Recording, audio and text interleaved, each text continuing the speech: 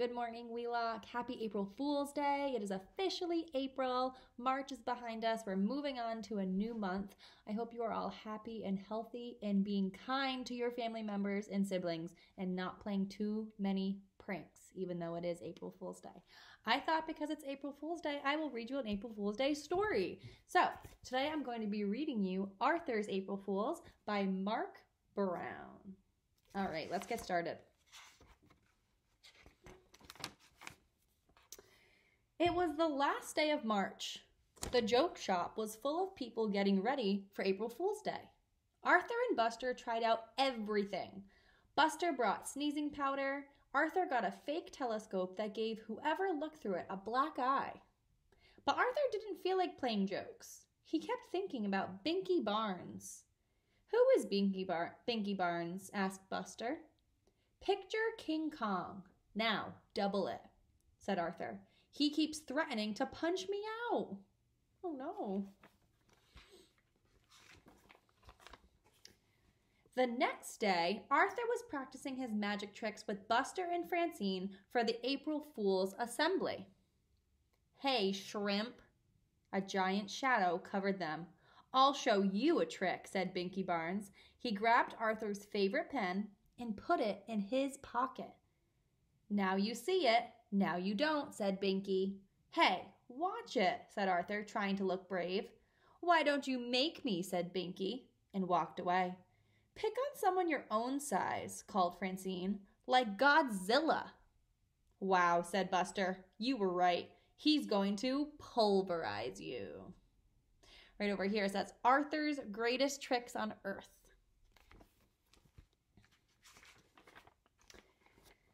That night at dinner, Arthur hardly ate anything. He didn't finish his cheeseburger. He didn't even want any chocolate cream pie. What's the matter with Arthur? asked his father. He's worried about getting pulverized, said DW. Maybe he's been watching too many outer space movies, said his mother.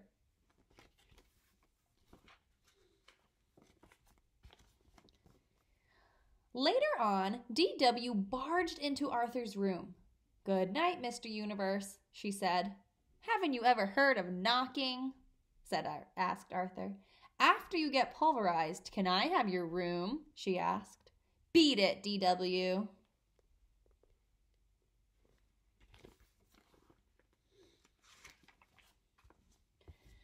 When Arthur finally fell asleep, he had nightmares.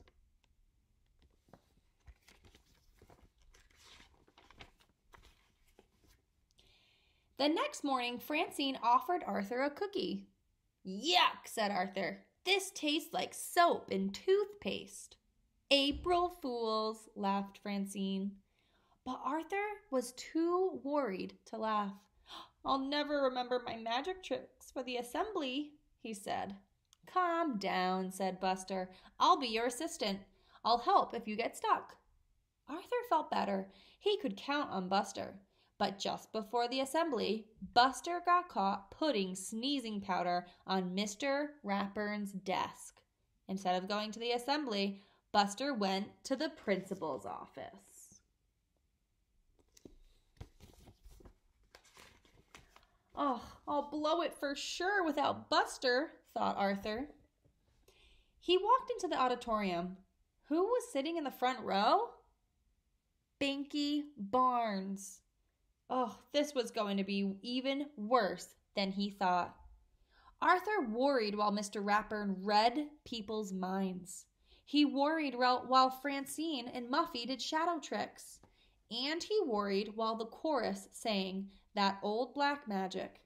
Finally, it was his turn.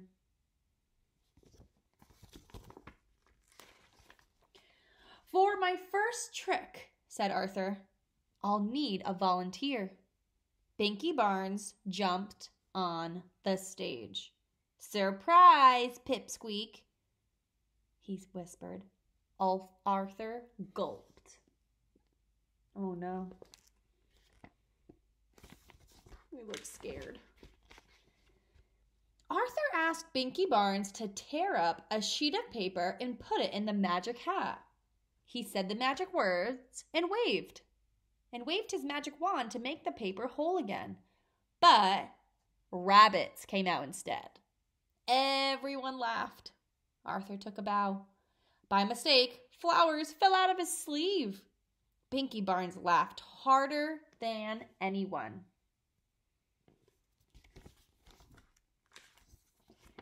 Then Arthur had an idea. He winked at Francine. For my next trick, I will saw this young man in half. Binky stopped laughing and took a step back. my saw, please, said Arthur. Binky turned pale.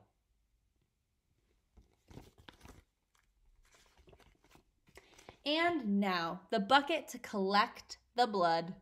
Binky screamed. He stepped back. Again. This time, right off the stage.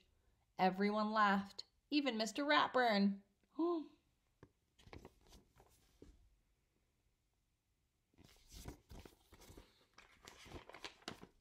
After the assembly, Arthur stopped Binky in the hall.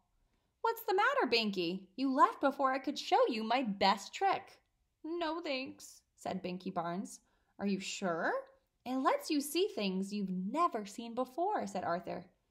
Really? said Binky.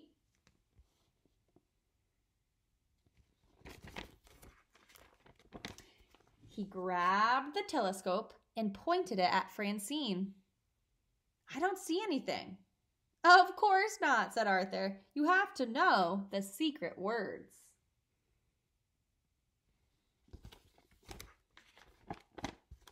Tell me, said Binky. I can't, Arthur explained. They're so secret.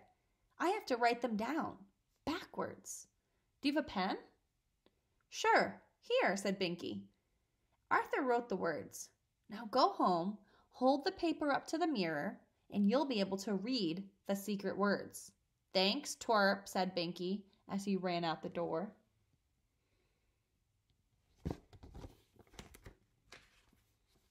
Boy, that's your best trick yet, said Buster. You didn't get pulverized, and you made Binky Barnes disappear. What did you write? asked Francine.